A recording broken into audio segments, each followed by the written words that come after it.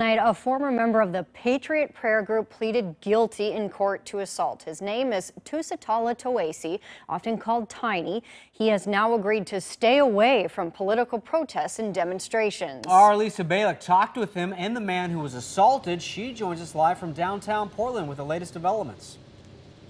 Well, this goes back to the summer of 2018 when there were protests going on then. As part of the plea deal today, they agreed to drop a felony assault charge against Toese. Now, in court today, he was they talked about that he was one of two men who attacked and injured Tim Ledwith, who was walking down the street when Toese and another man drove by yelling from a pickup.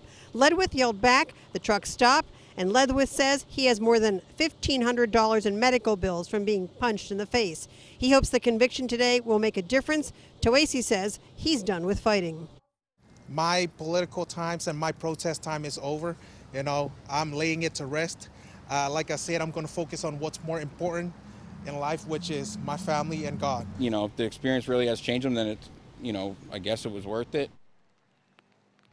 Now, as part of the plea agreement, Toese was sentenced to two years probation, 80 hours community service, and ordered to pay restitution to Ledwith. Toese says he is no longer affiliated with the Patriot Prayer Group or its leader, Joey Gibson. But you won't be seeing him anymore downtown for the next two years because, again, as part of the agreement, the judge ordered him not to participate in any kind of demonstration or protest during his probation, which, again, is the next two years. Live in downtown Portland, Lisa Balick, KOIN 6 News. Very interesting development. Thank you, Lisa.